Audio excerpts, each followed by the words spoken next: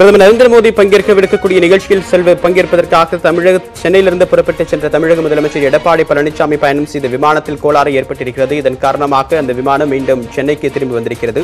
இது பற்றிய கூடுதல் விவரங்களோடு நம்முடைய செய்தியாளர் நந்தா இணைப்பில் இருக்கிறாரிடம் பேசலாம். நந்தா தற்போது விமானத்தில் என்ன கோளாறு ஏற்பட்டது? தற்போது விமானம் சென்னை வந்து சேர்ந்து விட்டதா? கள நிலவரம் என்ன?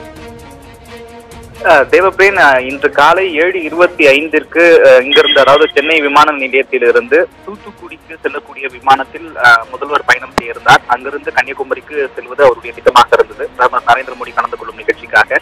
இந்நிலையில் இன்று காலை சரியாக ஒரு ஏழு பதினைந்து மணி அளவில் விமான நிலையத்தை அஹ், முதல்வர் அஹ், வந்தடைந்தார் அங்கிருந்து விமானத்தின் மூலமாக தூத்துக்குடி செல்வதற்காக பயண ஏற்பாடுகள் எல்லாம் செய்யப்பட்டது. அங்கிருந்து விமானம் புறப்பட்ட சிறிது நேரத்திலேயே கூட விமானத்தில் தொழில்நுட்ப கோளாறு ஏற்பட்டதன் காரணமாக மீண்டும் அந்த விமானம் சென்னை விமான நிலையத்தில் தரையிறக்கப்பட்டிருக்கிறது பத்திரமாக தரையிறக்கப்பட்டிருக்கிறது. அஹ், தற்போது மீண்டும் இங்கிருந்து அதாவது முதல்வர் அஹ், சென்னை விமான நிலையத்திலிருந்து மதுரை சென்று மதுரையிலிருந்து கார் மூலமாக தரைவழி மார்க்கமாக பயணம் செய்து கன்னியாகுமரியில் நடக்கக்கூடிய பிரதமர் நரேந்திர மோடி கலந்து கொள்ளக்கூடிய நிகழ்ச்சிக்கு பங்கேற்க இருக்கிறார். விமானத்தில் ஏற்பட்ட தொழில்நுட்ப கோளாறை தற்போது விமான நிலைய அதிகாரிகள் சரி செய்து வருகிறார்கள். என்ன கோளாறு ஏற்பட்டிருக்கிறது என்பது இதுவரையும் அஹ், அதிகாரப்பூர்வமான தகவல்கள் நமக்கு கிடைக்கப்பெறவில்லை. ஆனால் பத்திரமாக விமானம் தரையிறக்கப்பட்டு விட்டது. மீண்டும் அடுத்த விமானத்திற்காக முதல்வர் காத்திருக்கக்கூடிய காத்திருக்கிறார். அதுவரை தற்போது வரை தற்போது நமக்கு தகவல் கிடைத்திருக்கிறது. தேவப்ரீன் அடுத்த விமானத்துக்கு காத்திருக்காரு. மதுரைக்கு போயிட்டு போகிற தரை மார்க்கமாக மதுரையிலிருந்து கன்னியாகுமரி போகிறதுக்கான நேரம் நிறைய எடுத்துக்கு எடுத்துக்கும் அதற்கான வாய்ப்பு இருக்கு. பிரதமர் வருகை திட்டமிடப்பட்டிருக்கு. ஏற்கனவே அவருடைய வரவேற்பதற்காக மரபுப்படி அவர் முன்னதாக செல்ல வேண்டும். இந்நிலையில் மீண்டும் தூத்துக்குடி அந்த விமானம் சரி செய்து இயக்கப்படுமா? அல்லது வேறு விமானம் தூத்துக்குடி சிறப்பு விமானம் ஏற்பாடு செய்யப்படுமா? அதுக்கான தகவல் தற்போது வரை சிறப்பு விமானத்திற்கான ஏற்பாடுகள் என்று இதுவரையும் எந்த முயற்சியும் எடுக்கப்படவில்லை.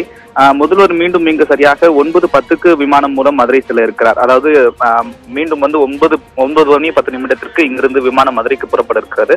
அங்கிருந்து கன்னியாகுமரிக்கு தரைவழி மார்க்கமாகத்தான் செல்வதாக தற்போது வரை திட்டம் இருக்கிறது சிறப்பு விமானங்களோ இல்லது மீண்டும் தூத்துக்குடிக்கு செல்வதற்கான பயண திட்டமோ இதுவரை வகுக்கப்படவில்லை ஓகே.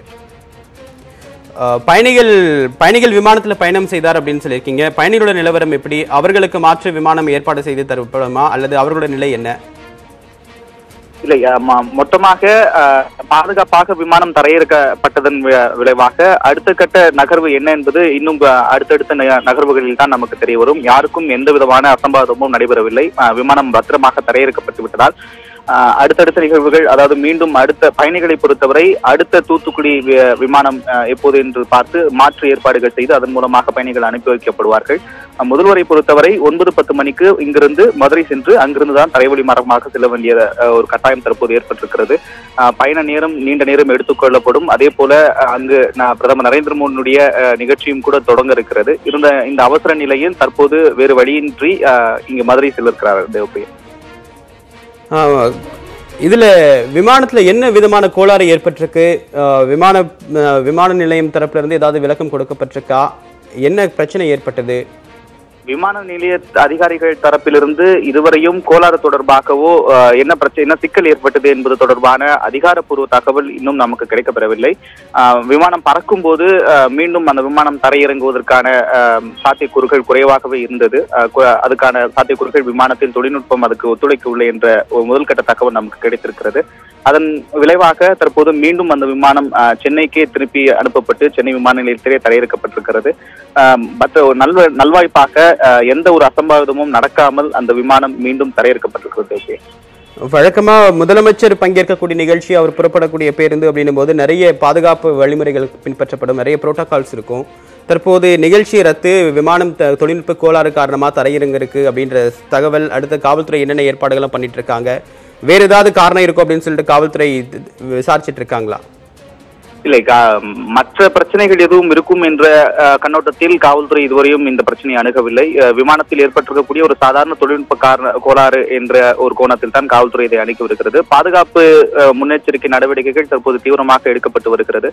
அடுத்த விமானத்தில் முதல்வர் புறப்படுவதற்கான அனைத்து பாதுகாப்பு பணிகளும் தற்போது கா- காவல்துறை சார்பில் எடுக்கப்பட்டு வருகிறது.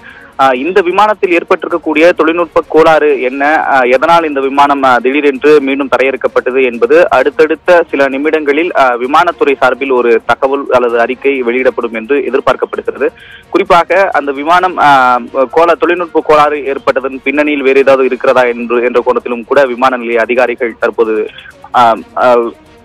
சோதனை நடத்தி வருகிறார்கள். அதை இன்னும் சற்று நேரத்தில் அதனுடைய முழு விவரங்களும் தெரிய வருவதற்கான வாய்ப்புகள் இருக்கிறது கன்னியாகுமரியில் பிரதமர் நரேந்திர மோடி பங்கேற்கவிருக்கக்கூடிய நிகழ்ச்சியில் செல்வ பங்கேற்பதற்காக தம் சென்னையிலிருந்து புறப்பட்ட தமிழக முதலமைச்சர் எடப்பாடி பழனிசாமி பயணம் செய்த விமானத்தில் தொழில்நுட்ப கோளாறு ஏற்பட்டிருக்கிறது. இதன் காரணமாக அந்த விமானம் மீண்டும் சென்னைக்கு திரும்பியிருக்கிறது. அடுத்த விமானத்தில் செல்வதற்காக அவர் தற்போது பாதுகாப்பாக சென்னை விமான நிலையத்தில் காத்துக் கொண்டிருக்கிறார். மதுரை மதுரை வழியை வரைக்கும் விமானத்திலும் அது அங்கிருந்து சாலை மார்க்கவம் செல்வதற்கு திட்டமிடப்பட்டிருப்பதாக தகவல் தெரிவிக்கப்பட்டிருக்கிறது. இது தொடர்பான கூடுதல் விவரங்களை கொடுத்தீங்கன்னா உள்ள விரிவான தகவல்களுக்கு நன்றி.